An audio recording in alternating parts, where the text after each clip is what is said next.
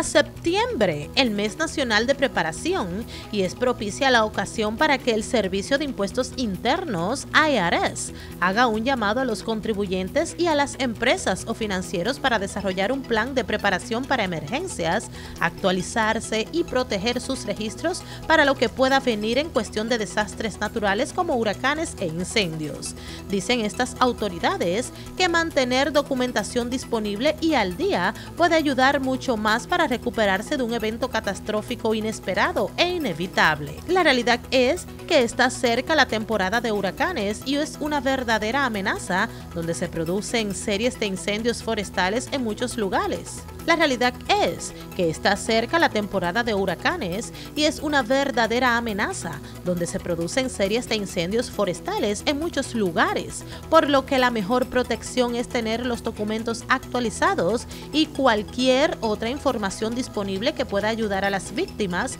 a solicitar el alivio disponible del IRS y otras agencias. Cabe recordar que la asistencia por desastre y el alivio de emergencia pueden ayudar a los contribuyentes y las empresas a recuperarse financieramente del impacto de un desastre, especialmente cuando el gobierno federal declara que su ubicación es un área de desastre mayor. Por lo que el IRS recomienda a sus contribuyentes a guardar sus declaraciones de impuestos, certificados de nacimiento, escrituras, títulos, pólizas de seguro y otros elementos igualmente importantes. Vanessa Vázquez, América al Día.